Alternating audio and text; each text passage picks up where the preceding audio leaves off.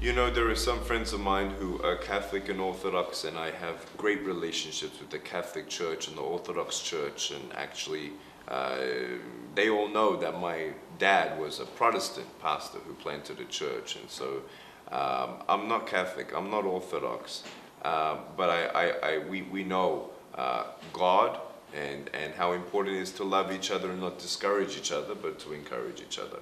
I think the most important thing is, is not just going to a church uh, and thinking of religion as a tradition or a culture uh, or, or a practice as much as um, you reading the Bible for yourself. I have many friends who, who think they're Christian in America, um, but actually uh, the young people, they go to church on Sunday, then they go to school on Monday, and they think it's okay to say the F word the third way that the third time when Peter denied Jesus uh, in the Gospels, um, he actually used swear words to absolutely confirm for the people around him, oh, he must not be a follower of Jesus because he's using foul language. And not just foul language, but understanding that sex is for marriage, sex is not love. Uh, you can sleep with anyone you want as many times you want, still wonder do they love you um, honoring God with your life. Uh, he's not a God of restrictions or law. He's a God of freedom to let you know that all the stuff that the world thinks is okay, it's actually taking you away from the best that He has for you. Including understanding that teasing, bullying at school, if you tease someone at school, you don't know the love of God. Period. And so I have many people who think that they're Christians, but they actually don't know the definition of Christian. Christianity is a follower of Jesus. They know everything about the church, they know everything about the saints, but they don't know actually what did Jesus actually do and read the Gospels and read the book of John as one of the Gospels that are the easiest to read and, and to see the promises of God and know the Bible. Uh, I think we have, at least in America, the most illiterate generation of Christians with biblical scripture. And it's very scary. And then we wonder, why is this happening in America?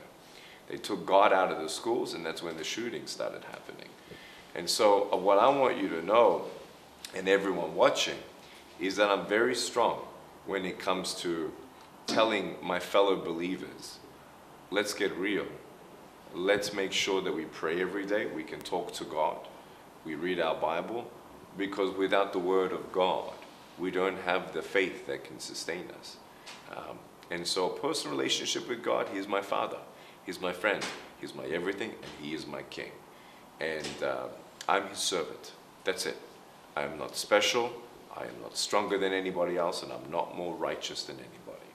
Um, we strive towards uh, righteousness, perfection, as a husband first, yes, as a father second, and then as a servant of God for the others. To love God with all my heart, might, soul, and strength, and then love others as myself. Uh, that is to me the pinnacle of an active relationship with God. You read your Bible, yes, go to church, but you read your Bible and you pray to Him, and, and you, you you cast your burdens and cares upon him. God, give me wisdom. God, give me strength. Lord, help me to forgive others. Lord, even help me to forgive myself of the things I've done wrong. There are many people who cannot find even forgiveness for themselves, so they just write a big check to the church and they think that covers their sins. It doesn't. It doesn't take away guilt and shame, knowing that you gave money to the church. It's about the experience of his peace and love and joy and knowing the word of God and knowing God as your not just master and king and king of kings, but as your friend.